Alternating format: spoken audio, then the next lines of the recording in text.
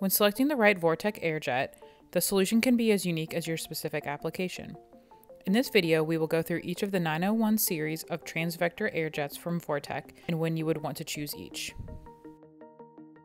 The 901A offers 6 ounces of thrust and should be used for general blow-off or cooling applications. It produces a slightly higher amplification ratio than the other 901 models, so it creates greater total airflow for cooling. The 901DA offers 14 ounces of thrust and should be used for blow-off applications that require a very focused output airstream or more output thrust than the 901A is required. The output thrust is more than two times that of the 901A, but it also uses more compressed air.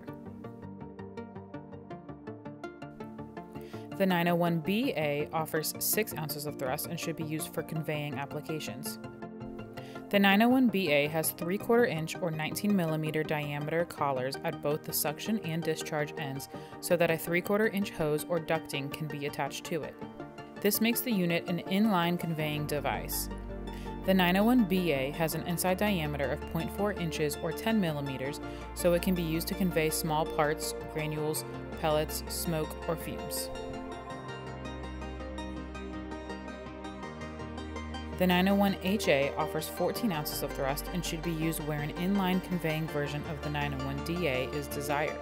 The 901HA has a 3 quarter inch suction collar and both 3 quarter inch and half inch diameter discharge collars. The 901HA produces more vacuum than the 901BA. The 909A offers a range of 2 to 17 ounces of thrust and should be used in applications that the 901DA would normally be used in, but where the output thrust needs to be varied frequently. The 909A's thrust and air consumption are easily varied by a simple turn of the outlet, unlike the other 901 models, which require a shim change. The 909A can also be used as an experimental nozzle when the required blow-off force is not known. It can also be easily disassembled for cleaning.